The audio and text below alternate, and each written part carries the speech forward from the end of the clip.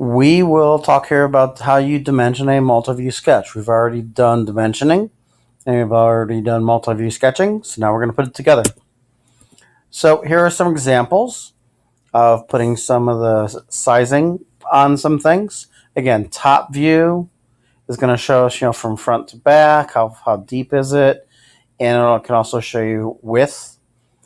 A symbol here means circle, and we're telling the diameter of this circle. And then side views, getting us some height. Now that's not everything that would go on this drawing, but we're just kind of showing you little bits and pieces.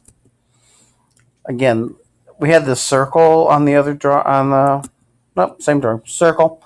Um, that circle needs to get located. We got to tell people where the center of that circle is. Now we wouldn't do it up here because it's we don't see the circle up there. We do it where we see the circle. We're telling them the center of it. So this tends to be more what the drawing is going to look like. It's going to have a lot of dimensions on it to tell us what they are and where they are. And there is a better place to put some dimensions than others. Again, how big is the circle? Locate the circle. Get some width. Now notice this 2.5 is drawn in between these two views. That's because it kind of goes with both of the views. Whereas opposed to this one, this depth here is going with this view. So that's why it's like that. Heights go over here better than anywhere else. So you, you gotta gotta practice and see where things go best. So there are some guidelines. Um, don't duplicate things. So this is correct given all these dimensions here. Notice this one's everything's outside the shape, uh, but in between views possibly. This would be incorrect in that we're duplicating information. That's why we write this information in between these two views to say, hey, it goes with both of them. And the lines line up. Again, we got some duplicates here. This one was better over here. 0.5 was better here because it showed you couldn't didn't really want to put the 0.5 over here.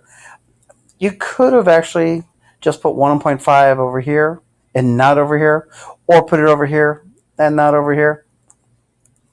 There's not perfect they're just good. Um, put the dimensions on the view that really shows it. That's what a contour means. You know, this 0.75 down here shows we come 0.75 over, then we have a turn up. Putting the 0.75 up here, yeah, it says we come 0.75, then something happens. We don't know what happens though. Does it go up? Does it go down? That's why the 0.75, 1.5, and that are here. Um, same thing with the 0.5. It's better here because it's showing that that's a contour.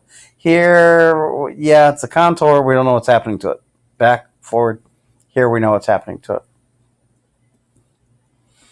Um, best show here's incorrect. Yeah, they got 0.75 up here, 1.5 here, 2 here, the 0.5. Well, the, the, these are also duplicated here. So, you know, the red here is what's incorrect, an incorrect way of doing it.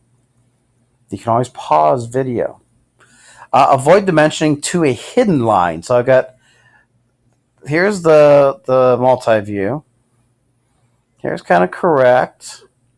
Incorrect here is putting a 0.75 here showing to that hidden line, which is this over here.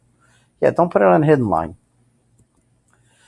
Um, don't go inside or through an object. Again, we got outside, outside, 0.75 is there, one's here, the 0.5 is here. These are on this view. Yeah, that's not good. You know, don't put you know those tick marks into the drawing. That's not good.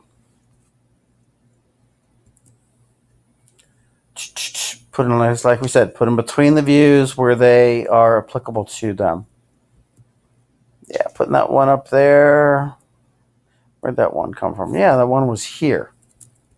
It's over here. Well, it, it pertains to this view also. Showing the depth, so put it in between over here. This one also. Put it in between here. This 0.75 and that. Put it up here. Uh, circle by diameter. So again, circle symbol, diameter, radius of a curve locate the circle, the center of the circle. And seven, again, talking about locating the center of a circle. Boom, boom, boom. Um, and where we have them, so we see it's a circle. That's, the, I mean, six, seven, eight are like one thing. Circles, curves. Locate center. Give us a diameter.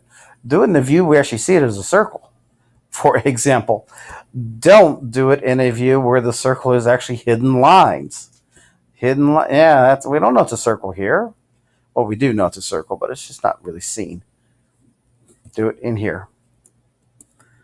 So examples, they're going here in between this view, in between these views, up here. You know, that's doing doing pretty good. Again, we're going in between this and this view. Five is in between this and this view. Here, 0.75 showing the contours. It also pertains over here. One five. Yeah. Okay. And I have some practice drawings for you to work on. That's it.